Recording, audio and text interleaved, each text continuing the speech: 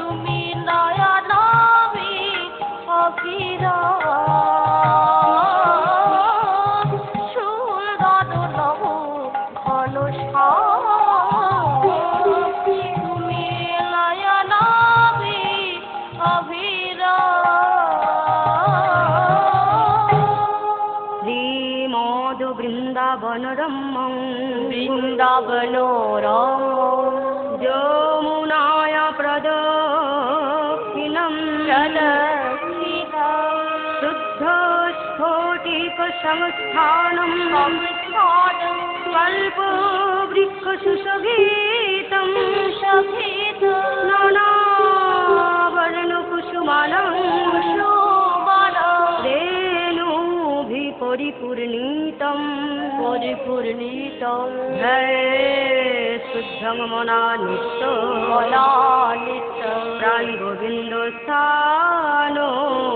নিত্য মলানিত স্থল স্থান একবার চলে রে, একবার চলে রে, একবার চলে রে আমার মন।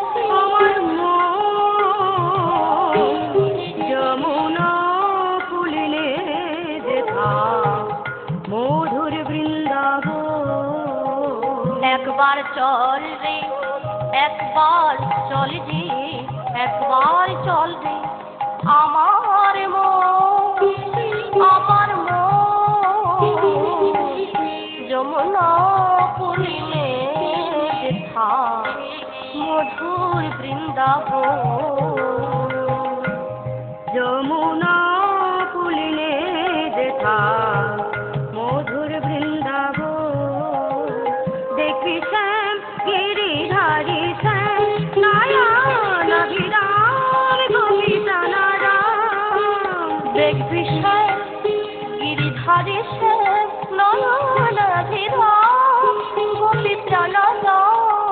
ওই না শ্যাম কুন্দ রাধা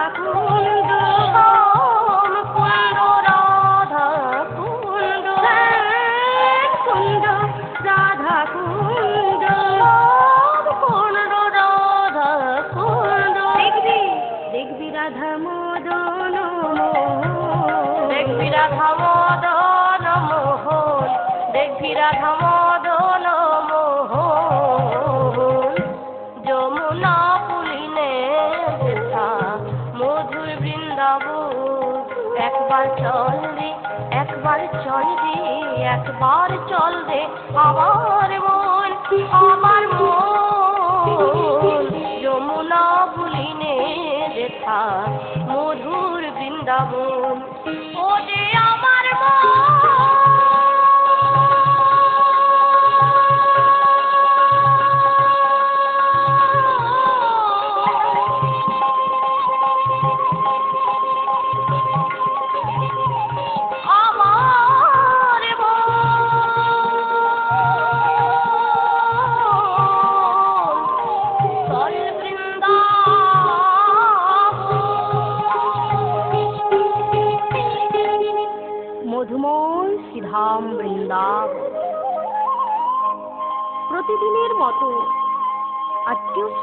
শ্রীগোবিন্দ গোচারণে গমন করছে।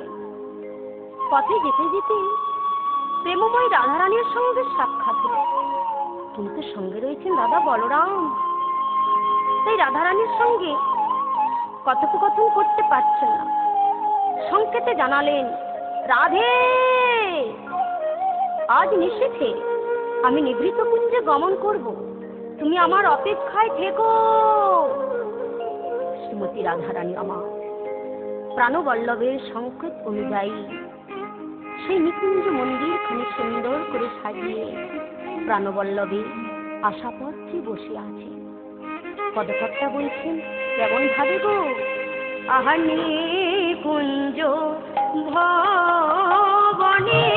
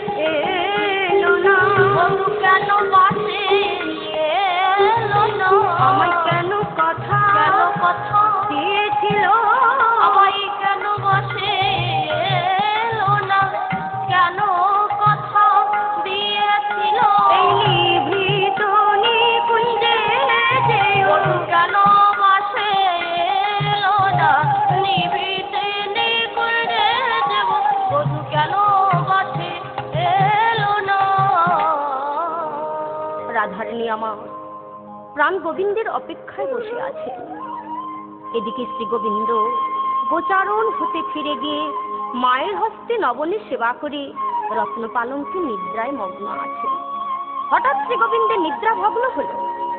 অমনি মনে পড়ে গেল প্রেমময়ীর কথা। তৎক্ষণাৎ শয্যা পরিত্যাগ করে গোবিন্দ ছুটতে ছুটতে চলেছেন রাধারানীর সঙ্গে সাক্ষাৎ করার লাগে। যখন ছুটতে ছুটতে চলেছেন চরণে নুপুর ঝুনু ঝুনু করে বেজে উঠেছে তাই পদকর্তা বলছেন আহা নুপুরের রুনু ঝুনু পড়ে গেল সারা। পুরে রুনু ঝুনু পড়ে গেল সারা। চমকিত হয়ে ঢুলি দিল আদো ঘুমটা মোরা। আজ চমকিত হয়ে ধনি দিল আলো ঘমটো আমি ওই বুঝি আসিছি। ভাবে ওই বুঝি আসিছে। আর নইলে নবুর বাজবে কেন? ওই বুঝি আসিছে। বলি নইলে নপুর বাজবে কেন? রুনু ঝুনু ঝুনু ঝুনু নইলে নুপুর বাজবে কেন? রুনু আসেছে রাধারানী আমার গোবিন্দের চরণের নুপুরের ধ্বনি শ্রাবণ করি। ঘুমটা তিনি বসে রইলেন আর মনে মনে বলছেন, হে প্রাণবল্লভ, রাধার প্রাণে তুমি কত না দুঃখ দিয়েছ, কষ্ট দিয়েছ। আমি রোজই ভাবি, গৃহ থেকে যখন বনে আসি, আমার অন্তরের কথা তোমাকে প্রকাশ করে বলব। কিন্তু হে বল্লভ, যখনই তোমার ওই চাঁদ বদনখানা আমি একবার নয়ন ভরে দর্শন করি। তৎক্ষণাৎ তোমার ওই বদনখানা দর্শন করে আমি কি বলব বলে জীবনে আসি? তাহা সব খুলে যায়। তাই হে বল্লভ, যতক্ষণ না আমি আমার অন্তরের কথা তোমায় প্রকাশ করে বলছি, ততক্ষণে ঘুমটা খুলবো না আর তোমার দিকে আমি ফিরেও তাকাবো না। ঘুমটা তুলে বসে রইলে। শ্রী গোবিন্দ ধীরে ধীরে রাধারানীর সম্মুখে পৌঁছে রাধে রাধে রাধে, তুমি ঘুমটা টেনে বসে রয়েছো? একবার কথা বলো আমার সঙ্গে একবার আমার দিকে ফিরে তাকাও। ওই ঘুমটা খোলো রাধে। রাধারানী বললেন, বধূ, আমার অন্তরের আমার মনের ব্যথা তোমাকে যতক্ষণ আমি প্রকাশ করে বলছি, ততক্ষণ এই ঘুমটা খুলবো না। তোমার দিকে আমি ফিরেও তাকাবো না। রাধে, কি তোমার অন্তরের কথা?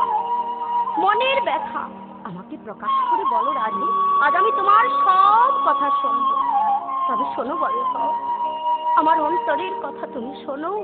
শোনো বধু বধু হে।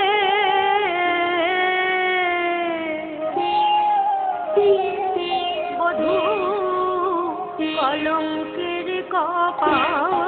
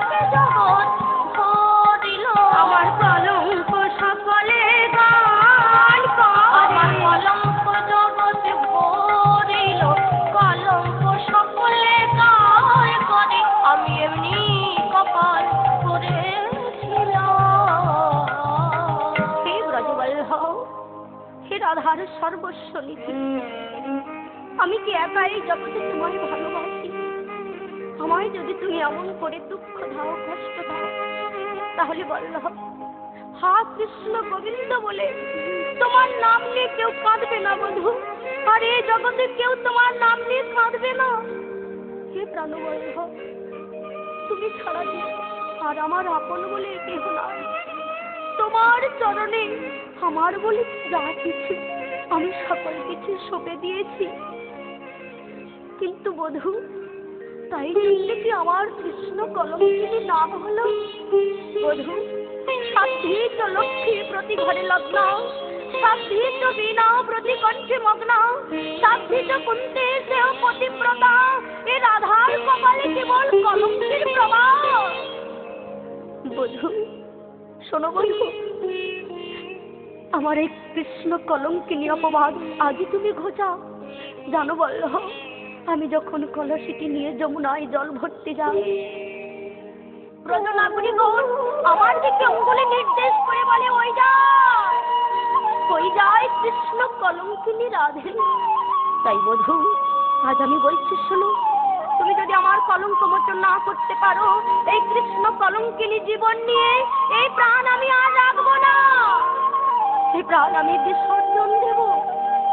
রাধারানীর বাক্য শ্রবণ করে শ্রী গোবিন্দ বলছেন রাধে রাধে, আমি তোমাকে বলছি, শোনো।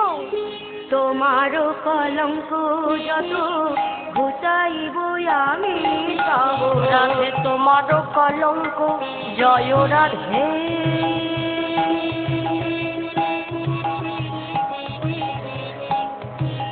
আমার প্রেমময়ী রাধে। ও গো রাধে।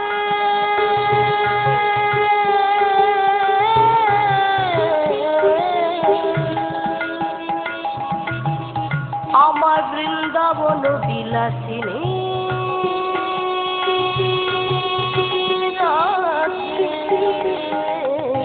রাধে তোমার কলঙ্ক যত, ঘুচাইব আমি সব যাইবে যশোদা ভুবনে, ও রাধে। যাইবে যশোদা ভবনে, ও রাধে। যাইবে যশোদা ভবনে।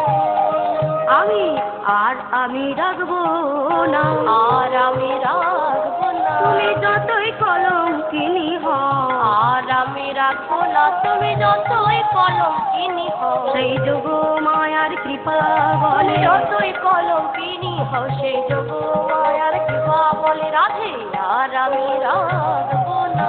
রাধে তোমার অঙ্গ স্পর্শ করে আমি কথা দিলাম। আজই আজই তোমার কলঙ্ক মোচন করব। আর তা যদি না করতে পারি শোনো রাধে, আমি তোমাকে কথা দিলাম। এই ব্রজমণ্ডলে আমি আমার বদনখানা কাউকে দর্শন করাবো না। যাও রাধে, এবার তুমি জটিলা ভবনে ফিরে যাও। তাই গোবিন্দ কি করলেন গো? আহা রাধারে, প্রবোধ করি পাঠালেন গিরিধারী। রাধারে প্রবধ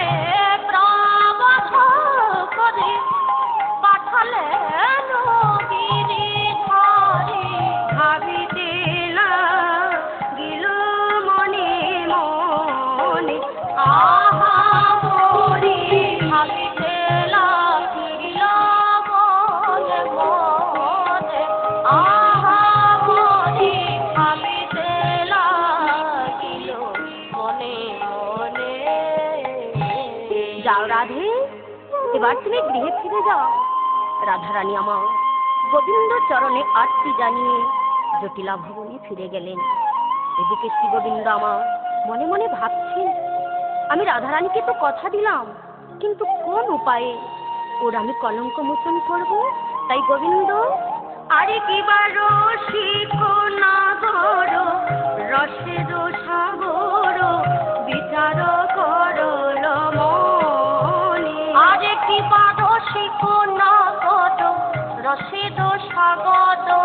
স্বাগত বিচার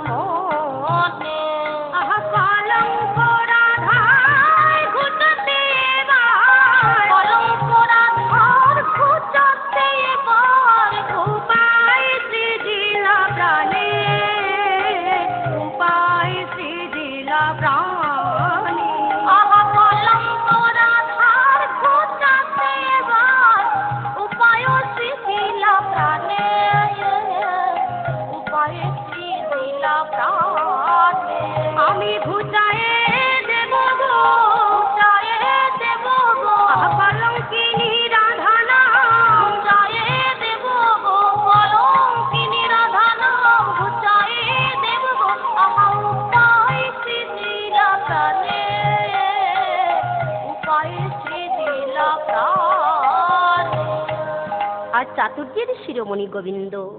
রাধারানীকে প্রবোধ বাক্য দিয়ে নন্দরাজপুরে এসে রত্ন পালঙ্কে নিদ্রায় মগ্ন হলেন। দেখতে দেখতে রজনী প্রভাত হয়ে গেল। মা যশোমতী শয্যা পরিত্যাগ করে গোপালকে সেবা দেবেন বলে ক্ষীরসর ছাড়া মাখন প্রস্তুত করছেন। হঠাৎ ঠিক সেই সময়ে শ্রীগোবিন্দ ডেকে উঠলেন, মা! গোপাল গোপাল তোর কি হলো গোপাল? তুই অমন করে চিৎকার করে ডাকলি কেন গোপাল? কি হয়েছে বল বাবা বল হ্যাঁ রে গোপাল অমন করে চিৎকার করে ডাকলি কেন বাবা? মা মা গো আমার কি হয়েছে? শোনে রে মা শোনো। রজনী প্রভাতে নিদ নাহি আসে।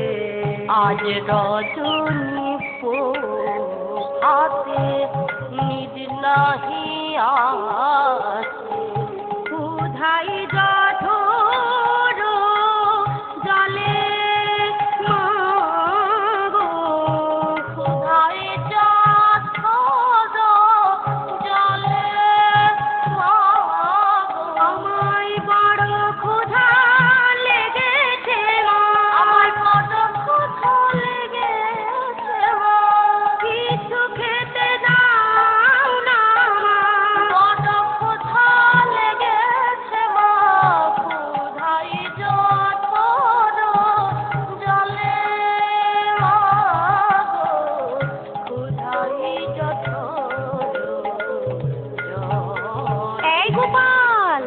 গোপাল তোরে ক্ষুধা লেগেছে?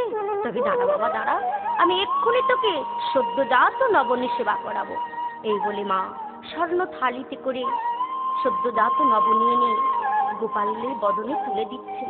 ঠিক সেই সময় গোচারণে যাবে বলে শ্রীদাম, সুদাম দাম বসুদাম সকল সখাগণ এসে বলছেন, ও মা যশোদে যশোদে, আমরা যে ভাই কানাইছি গোচারণে নিয়ে যাব সুন্দর করে সাজিয়ে দাও মা।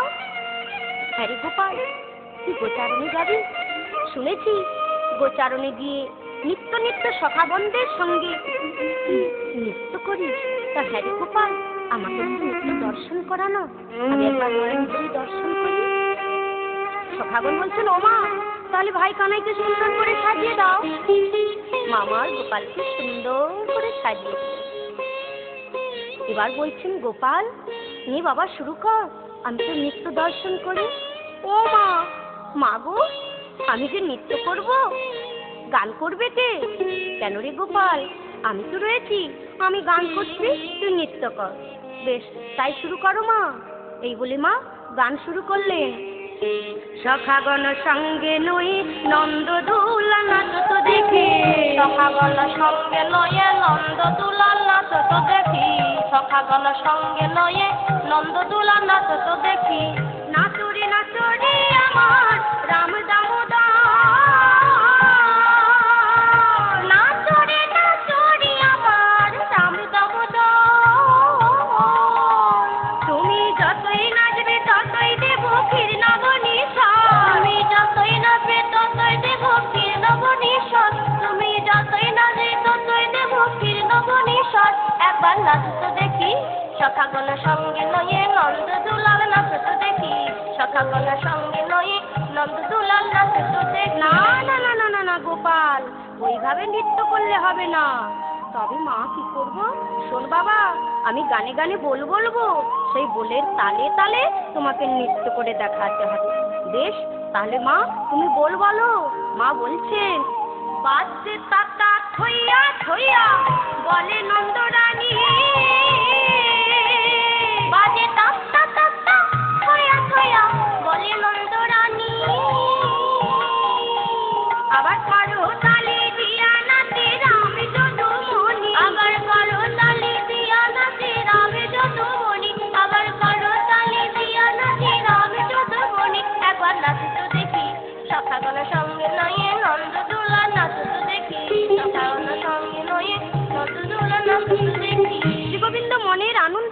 করছেন? মনে মনে ভাবছেন, এই তো আমার সুযোগ। আমার সুযোগ এসেছে, আজই আমি রাধারানীর কলঙ্ক মোচন করব। তাই শ্রীগোবিন্দ, আমার চাতুর্যের শিরোমণি কি করলেন গো? নৃত্য করতে করতে? নাচিতে নাচিতে স্বামী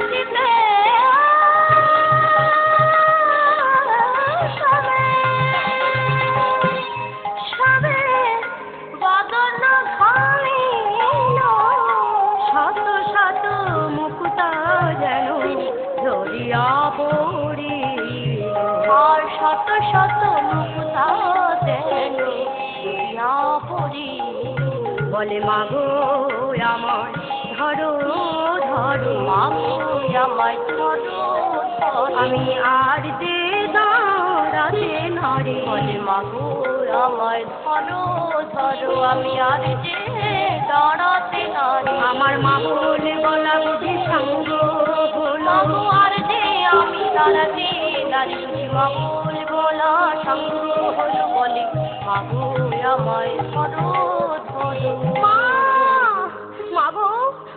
আর দাঁড়াতে পারছি না, মা। আমি আর নৃত্য করতে পারছি না। তুমি আমায় একটু ধরো, মা। আমায় একটু ধরো। গোপাল, এই গোপাল, তোর কি হলো বাবা? মা গো, আমি বুঝি প্রাণী বাঁচবো না, মা।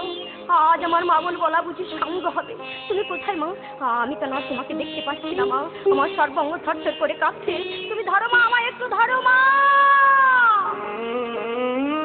মা মা বলতে বলতে যখন গোবিন্দ মায়ের কোলে অচৈতন্য হয়ে পড়ে গেলেন অমনি মা দশমতী চিৎকার করে ডেকে বলছেন গোপাল! ওরে আমার নয়নের মণি আমার সাগর সেটা কালো মানি গোপাল একবার কথা বল বাবা একবার আমাকে মা বলে ডাক। ওরে গোপাল তুই ছাড়া যে আর আমাকে কেউ মা বলে ডাকার নেই। কথা বল গোপাল কথা বল। একবার কথা বল। ওরে আমার নীল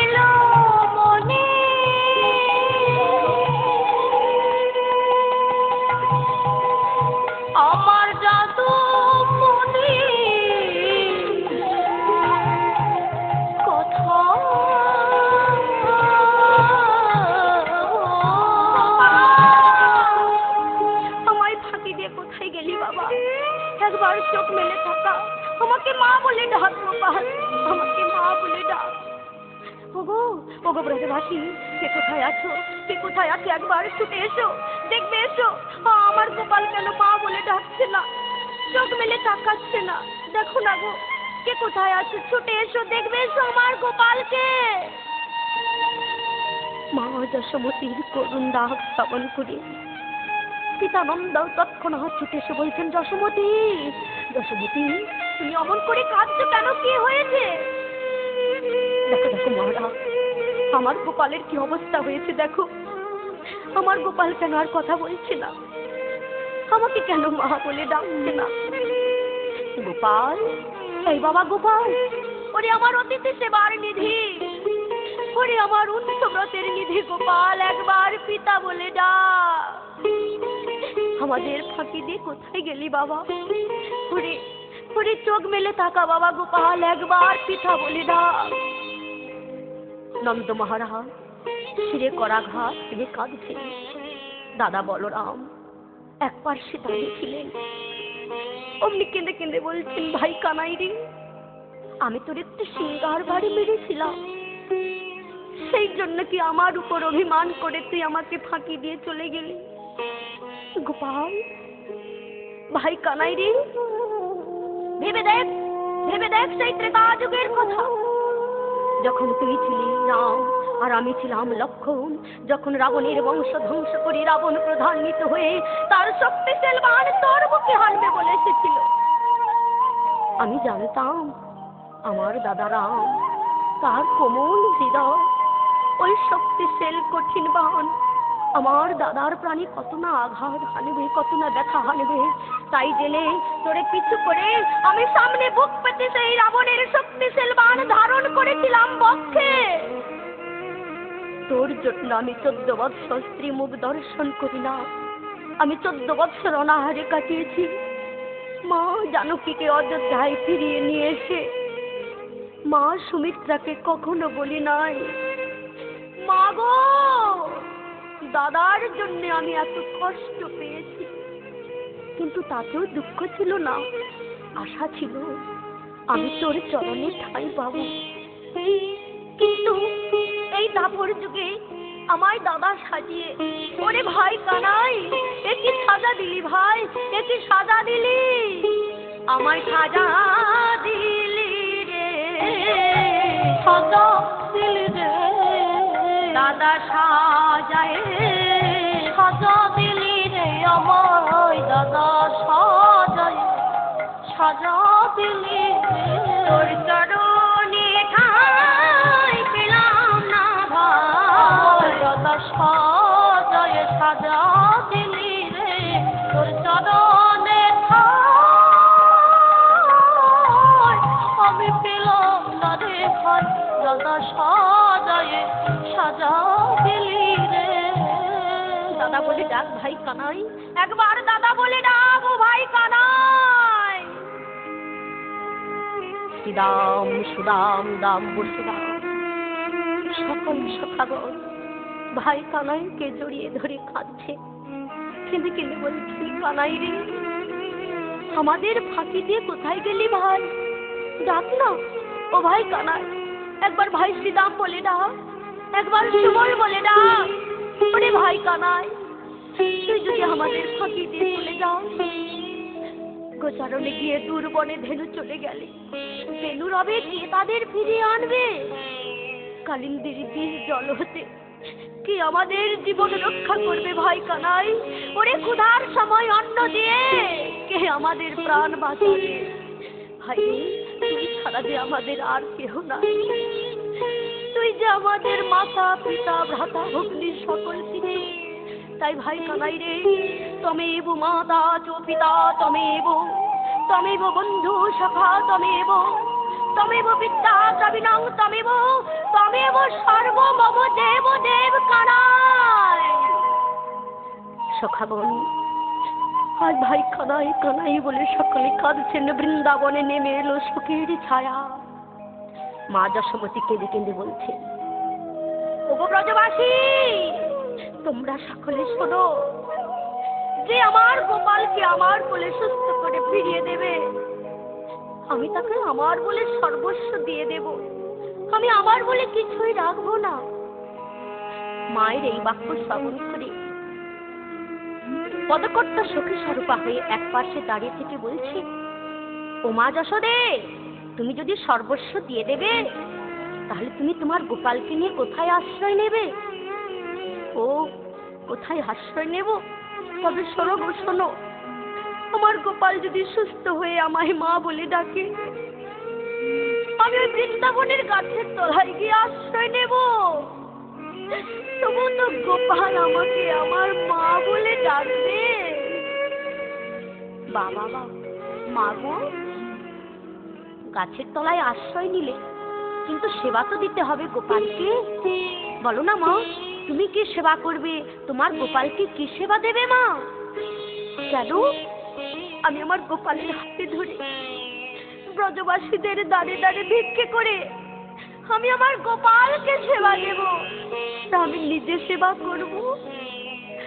মা গো, ভিক্ষে যে করবে? তুমি না রাজ রানী, তুমি না কৃষ্ণের জননী, যদি তোমায় ভিক্ষে না দেয়, তখন কি করবে মা? মা যশোমতী কেঁদে কেঁদে বলছিল গো ব্রজনাগরী, শোনো। যদি ব্রজবাসীগণ আমায় ভিক্ষে না দেয়, আমি আমার গোপালকে নিয়ে ব্রজবাসীরা যে সেবা দূরে একটু পাত ফেলে দেবে, তাতে যা লেগে থাকবে, আমি আমার গোপালের বদলে তুলে দেব। আর আমি নিজে সেবা করব, মা। গো! ধন্য তুমি। এই তোমার বাৎসল্য প্রেম। এই প্রেমেই তো গোবিন্দ আমার বাধা পড়ে রয়েছে। তার মা যশোমতী কেঁদে কেঁদে বলছেন, শোনো, তবু যদি আমার গোপালকে আমি ফিরে না পাই গোপাল বিহীন এই প্রাণ আমি আর রাখব না। আমি রাখব না। আমি ওই যমুনায় ঝাঁপ দিয়ে এই প্রাণ বিসর্জন দেব। মা যশোমতী সেই বাক্য শ্রবণ করে ব্রজবাসীগণ আস্তে থাকতে পারলেন না। তখন তারা কি করলেন? বৌদ্ধ আনবার জন্য যে যেদিকে পারে দ্রুত গতিতে ছুটে সেই সময় বৃন্দাজ্যোতিও ব্রজবল্লভকে ফিরে পাওয়ার জন্যে বৌদ্ধ আনবার জন্য চলেছে আহা, লীলাময় গোবিন্দের একই লাগু মায়ের করলে অচৈতন্য অবস্থায় শয়ন করেছেন বটে, কিন্তু মনে মনে ভাবছেন, এইবার আমাকে ছলনার আশ্রয় নিতে হবে। তাই কি করলেন গো? এক দেহ দুই রূপ ধারণ করলেন। একজন থাকলেন মায়ের কোলে অচৈতন্য অবস্থা, আরেকজন বদ্যবেশ ধারণ করে পথে এসে দাঁড়ালেন। সেই পথ দিয়ে চলেছেন বৃন্দাদুতি। বদ্যরূপী গোবিন্দ আমার বলছেন, তুমি কাদের ঘরে রমণী গো? কে গো কোথা যাও শুনে। নয়ন জলে ভাসি যা। বলি কে গো রমণী কোথা যাও শুনি।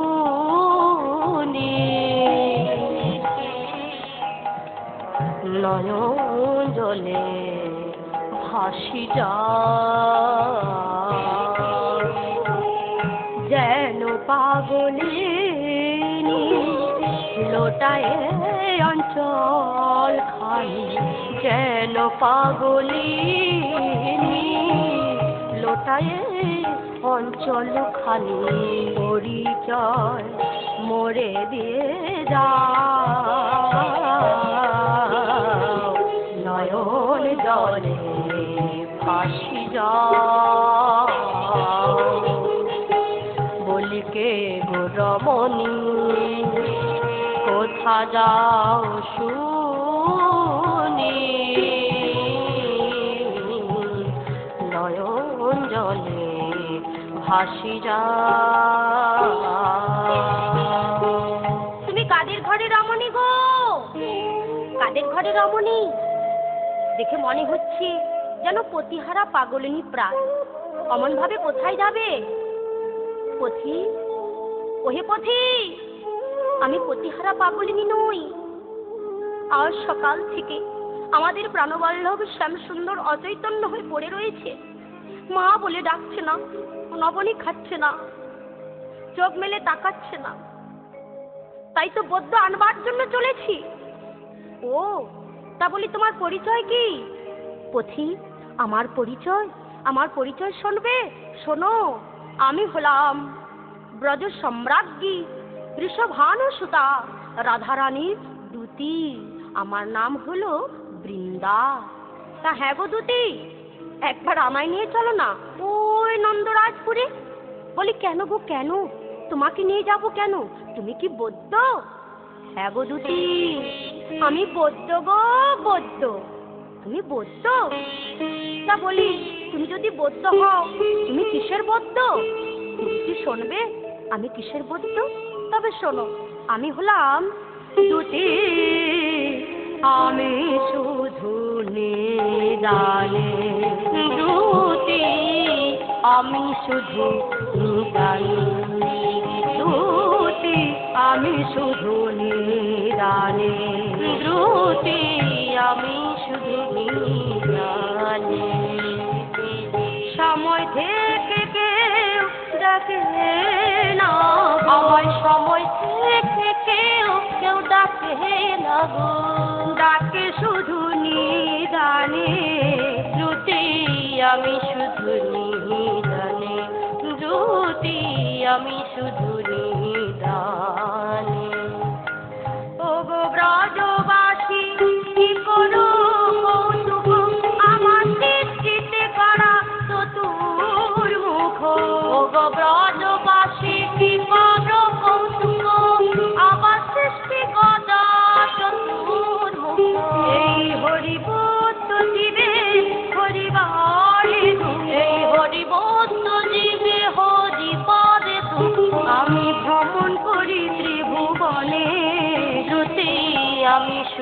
নিদানে। শ্রুতি আমি শুধু নিদানে। শ্রুতি আমি শুধু নিদানে। আমি নিদানের বদ্ধ। এই জগৎ সংসারের জীব, আমাকে সময় থেকে কেউ ডাকে না। কখন ডাকে জানো? তারা ডাকে কেবল নিদান কালে। তাই তো আমি নিদানের বদ্ধ। বা বাবা তুমি নিদানের বদ্ধ। তাহলে চলো না গো। আমাদের যশোদা নন্দন শ্রীকৃষ্ণকে আমাদের কাছে ফিরিয়ে দাও। সুস্থ করে ফিরিয়ে দাও মায়ের কোলে সেই গোপালকে। তাহলে চলো দুটি, আমাকে নিয়ে চলো। বদ্যবেশ ধারী গোবিন্দ, বৃন্দাদুতির সঙ্গে নন্দরাজপুরে গমন করলেন। মা যশোমতী বদ্ধ বেশ ধারী গোপালের আপাদমস্তক নিরীক্ষণ করলেন। দেখি বলছেন হ্যাঁ বাপ বৈদ্যরাজ বদ্যরাজ মা যখন অপলোক দৃষ্টিতে দেখছেন। গোবিন্দ মনে মনে ভাবলেন, এই রে, মা বুঝি আমায় চিনে ফেললে। আর আমার রাধারানীর কলঙ্ক মোচন হবে না। আমি আমি মায়া দ্বারা মাকে ভুলিয়ে দেব। তাই ঠিক করলেন চাতুর্যের শিরোমণি। মায়া দ্বারা মাকে ভুলিয়ে দিলেন। এবার বলছেন, ও মা যশোদে যশোদে, তুমি তোমার গোপালকে তোমার কোলে ফিরে পেতে চাও তো? একটি উপায় আছে। উপায় বা। মাগো যদি কোনো সতী নারী সহস্র চিত্র কুম্ভে ওই যমুনা হতে বাড়ি এনে দিতে পারে তবেই তোমার গোপালকে তোমার কোলে সুস্থ করে ফিরিয়ে দিতে পারি। হ্যাঁ সতী নারী, উমা বৃন্দে, এ বৈদ্য যে সতী নারীর কথা বলছে, এখন কি হবে উপায়? বল না মা, কোথায় গেলে সতী নারী পাবো? বৈদ্যপতি বলছে ও মা চিন্তা কেন? আছে গো, আছে বৃন্দাবনী। সতী নারী আছে, তবে শোনো মা, এক আটজন নয়, দুইজন সতী আছে। কে বৃন্দা, মাগো, তুমি জানো না? সেই জটিলা আর কুটিলা ওরা মায়েঝি নাকি প্রধানা সতী? তাই বুঝি তা জানা মা। সেই যাবত থেকে জটিলা আর কুটিলাকে এনে দে। মায়ের আদেশে বৃন্দাবতী যাবতীর জটিলা ভবন থেকে জটিলা আর কুটিলাকে নিয়ে এলেন।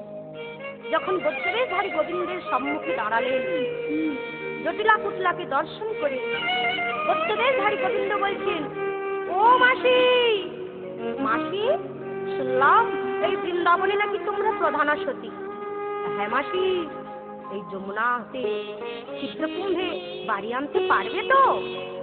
এই মুখ পড়া চিত্রকুম্ভকে আমাকে, আমাদের দেখাচ্ছিস।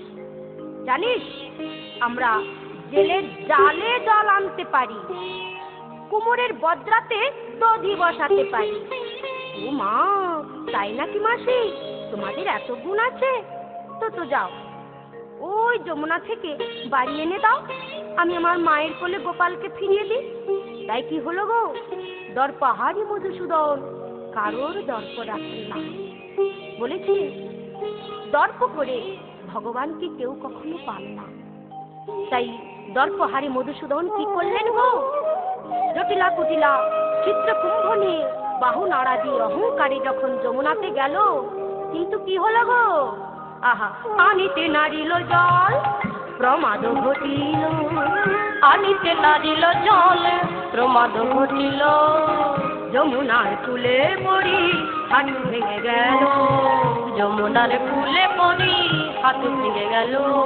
পারল না গো পারল না গো জল আনিতে কেউ পারল না গো জল আনিতে কেউ পারল না গো। জটিলা কুটিলা সতী জল আনিতে কেউ পারল না গো। জটিলা কুটিলা সতী জল আনিতে কেউ পারল না গো জল আনিতে কেউ পারল না গো। পারল না পারল না পারল না। কেন গো? ভগবান বলেছেন যে আমার নাম নিয়ে হা কৃষ্ণ গোবিন্দ বলে একদিন তো নয়ন বাড়ি ফেলতে পারে। সে তো অনায়াসে আমার কৃপা পেয়ে থাকে। কিন্তু জটিলা জটিলা তারা তো কখনো গোবিন্দের নাম নিয়ে নয়ন বাড়ি দিতে পারে না। তাই এই চিত্রকুম্ভের যমুনাতে তারা জল আনবে কি করে? পারল না। অপমানিত হয়ে, লজ্জিত হয়ে অধবদনে দাঁড়ালেন মা যশোমতী, এবার বৈদ্যদেশ ধারী গোবিন্দকে বলছে হ্যাঁ বা বৈদ্যরা এখন উপায় কি হবে? আমি আমার গোপালকে কি আমার কোলে ফিরে পাবো না? বৈদ্যবেশ ধারী গোবিন্দ বলছেন, মা গো, একটি উপায় আছে। আমি খড়ি পেতে দেখব। এই বৃন্দাবনে আর অন্য কোনো সতী নারী আছে কি না গোবিন্দের বাক্য শ্রবণ করে পদকর্তা এক পাশে দাঁড়িয়ে থেকে বলছেন, দীন কৃষ্ণ কহে দশ কহে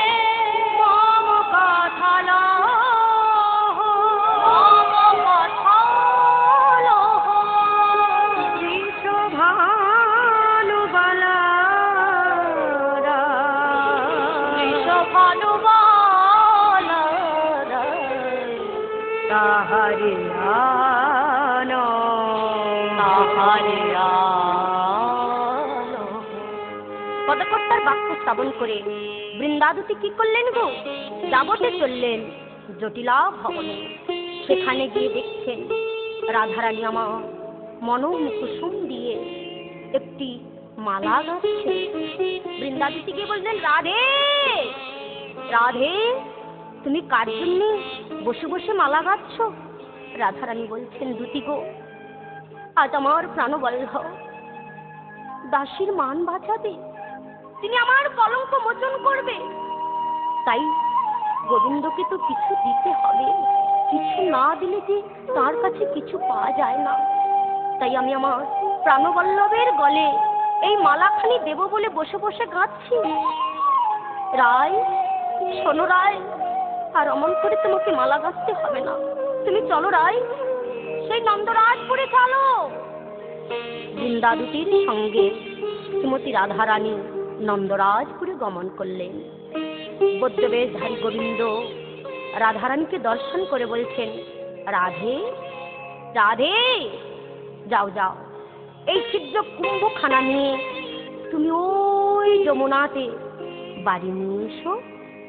রাধারানী আমার ছিদ্র কুম্ভটি করে নিয়ে বলছেন, আগে দাও আমায় কৃপা বাড়ি। তবে যদি জল আনতে পারি আমি যে হই কৃষ্ণ কলঙ্কিনী নারী। হে বল্লভ, এই দাসীর মান বাঁচাও। তুমি ছাড়া যে আমার আর কেহ নয় এই বলে রাধারানী আমার কলসিটি কাছে নিয়ে সখীগন্ধের সঙ্গে নিয়ে যমুনাতে জল আনবার জন্য চলেছেন। পথে যেতে যেতে গোবিন্দকে নিবেদন করে বলছেন, হে লীলাময় গোবিন্দ!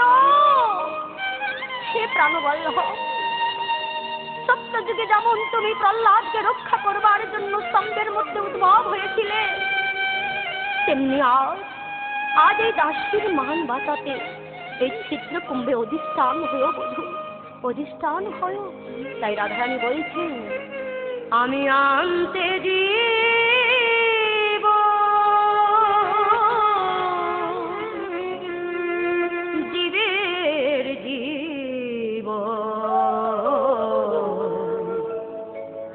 যাই যমুনা জীবনে। দয়াল যাই যমুনা জীবনে। আমি আনতে দিব যাই যমুনা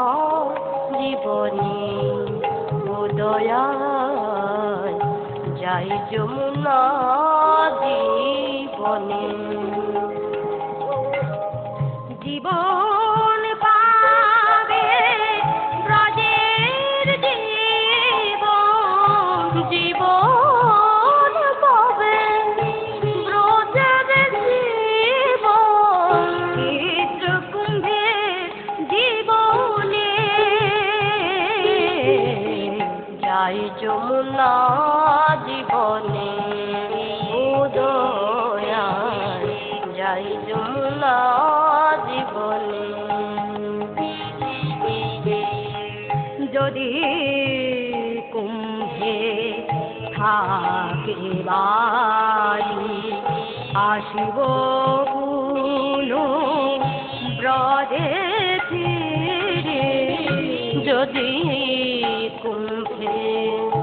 থাকে বাড়ি বাড়ি আসিব।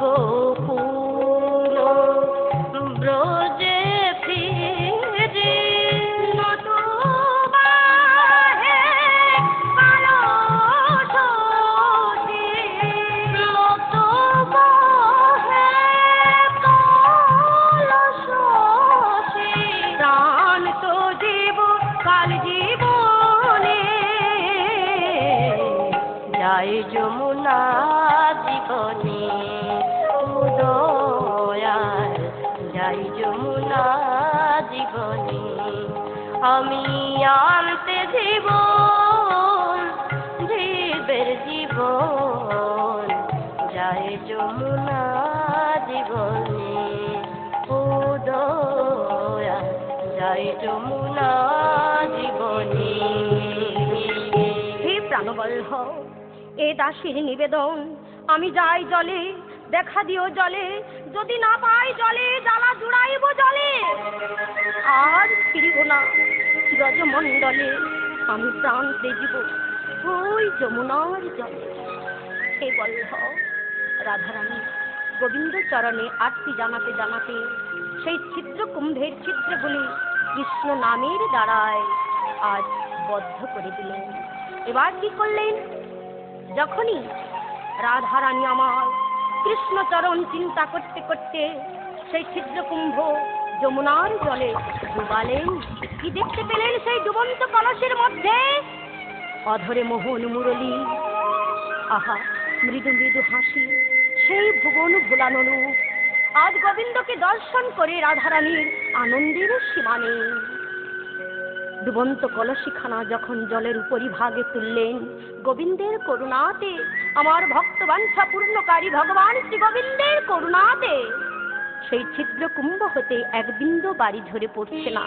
আহা, রাধারানী, আনন্দে চিৎকার করে ডেকে বলছেন, ওরে ললিতা! ওরে ও বিশাখা চিত্রা চম্পক লতা তোরা দেখে যা দেখে যা, আজ এই অভাগিনীকে, এই কৃষ্ণ কলঙ্কিনী রাধারানীকে আমার গোবিন্দ কৃপা করেছে গো। তাই দেখ দেখ, গোবিন্দের করুণাতে আমার এই চিত্রকুম্ভ হতে এক বিন্দু বাড়ি ঝরে পড়ছে না। আহা যখনই রাধারানী আমার বললেন অমনি সখীগণ তারা কি করছেন গো? রাধারানীর জয় দিচ্ছেন বলছেন রাধারানী কি? জয়। বৃষভানু সুতা কি? জয়। কৃষ্ণ পক্ষ বিলাসিনী কি? জয়। নাচ হই না। ওরে সখী তোরা আমার জয় দিচ্ছিলে রে। সখী রে যার নামে ত্রিভুবনকে জয় করা যায় যার নামের গুণে পাষাণ জলে ভাসে। সখী রে যার নামে মরা, তার মৃতদেহে প্রাণ ফিরে পায় তোরা সকলে মিলে আমার প্রাণবল্লভ, শ্যাম সুন্দরের জয় দে সখী। যার জয়ে আমরা জয়ী হলাম। বল সখী, আমার গোবিন্দের জয় দে। আজ সখী গণ রাধা গোবিন্দের জয় দিতে দিতে নন্দরাজপুর গমন করলেন। যখন বদ্যবেশ বদ্যবেশধারী গোবিন্দের নিকট উপনীত হলেন রাধারানী, শ্রী গোবিন্দ আমার, রাধারানীর কট থেকে সেই কলসিটি নিয়ে, কলসির বাড়ি নিয়ে অচৈতন্য গোপালঙ্কে যখনই সিঞ্চন করলেন, চাতুর্যের শিরোমণি তিনি অমনি মা মা বলে মায়ের গলাটি জড়িয়ে ধরলেন। গোপালকে ফিরে পেয়ে মা নন্দরানীর আর আনন্দের সীমা নেই। মা যশোমতী বৌদ্ধবেশধারী গোবিন্দকে বললেন, হে বাবা বৌদ্ধরাজ আজ তোমার জন্যে আমি আমার গোপালকে ফিরে পেলাম। আমি বলেছিলাম, আমার গোপালকে যে আমার কোলে ফিরিয়ে দেবে। আমার বলিতে যা কিছু, আমি তাকে সর্বস্ব দিয়ে দেব। বাবা, আমার গোপালের কাছে কি ছাড় ধনৈশ্বর্য, কি ছাড় রাজপ্রাসাদ, কি ছাড় আমার গোপাল ছাড়া আমি কিছুই চাই না। তাই নে বাবা, তুই আমার বলিতে যা কিছু, সকলই গ্রহণ কর বৌদ্ধবেশধারী গোবিন্দ বললেন, মা, আমি যে বৌদ্ধ আমি যে ত্রিভুবনে ভ্রমণ করি, আমার রাজপ্রাসাদ ধন ঐশ্বর্য নিয়ে কি হবে মা? তবে হ্যাঁ মা, দিতে যদি চাও, তবে আমার একটি আশা পূর্ণ করো। কি বাবা? মা গো, আমার একটি আশা। তুমি যেমন তোমার গোপালকে কোলে বসায়ে সদ্যজাত নবনী সেবা করাও। মা গো, আমার মনেও আশা। আমিও তোমার কোলে বসে, ওই তোমার করে নবনী সেবা করি। ও বাবা হ্যাঁ রে বাপ বদ্য, তোর মনে এই আশা? তবে আয় বাবা আমার কোলে আয়। এই বলে মা নন্দরানী দুই গোপালকে কোলে বসালেন। দুই গোপালের বদনে সদ্যজাত নবনী তুলে দিচ্ছে নবনী সেবা করতে করতে কি হলো গো? দুই গোপাল এক হয়ে গেল হরি অঙ্গে হরি লীন হয়ে গেল। যখনই এক হয়ে গেল মা আমার গোপালকে ফিরে পেয়ে বদনে চুম্ব প্রদান করছেন বলছেন গোপাল একবার মা বলে ডাক বাছা, একবার মা বলে ডাক। মায়ের আর আনন্দ ধরে না গো। সখীগণ বলছেন, ও মা মা গো নন্দরানী, তুমি তোমার গোপালকে ফিরে পেয়ে আমাদের রাধারানীর কথা ভুলে গেলে, যার আনা জলে তোমার গোপালকে তুমি ফিরে পেলে, তোমার গোপাল তোমাকে মা বলে ডাকছে। আমাদের সেই রাধারানীকে কি তুমি ভুলে গেলে? নাও না মা, আমাদের রাধারানীকেও তোমার কোলে নাও। মা বলছেন, বাবা, ওরে সখী, তোরা যখন বলছিস, আমি রাধারানীকেও কোলে নিলাম। এই বলে মা আমার দক্ষিণে নিলেন নীলমণি, বামে রাধারানী। তাই আজ এই বৃন্দাবনে মধুময় শ্রীধাম বৃন্দাবনে নন্দরাজপুরে মায়ের কোলে যুগল মিলন হলো। যুগল মিলন হেরে সখীগণ তারা আনন্দে আপ্লুত হয়ে হাতে হাত বেড়া জাল দিয়ে গাইছে। রাধা রানী কি জয় মহারানী কি জয়? রাধা রানী কি জয় মহারানী কি জয়? রাধা রানী কি জয় মহারানী কি জয়? রাধা রানী কি জয় মহারানী কি জয়? বৃন্দাবন বিলাসিনী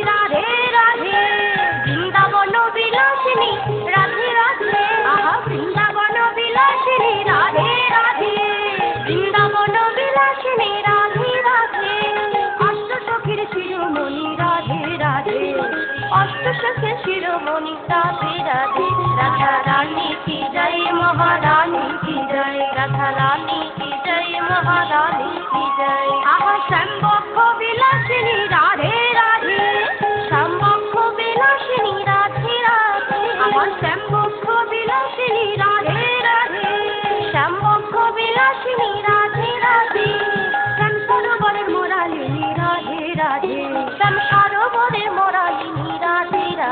রাধা রানী কি জয় মহারানী কি জয়? রাধা রানী কি জয় মহারানী কি জয়? জয় রাধে, জয় গোবিন্দ, জয় রাধে, জয় গোবিন্দ। জয় রাধে, জয় গোবিন্দ, জয় রাধে, জয়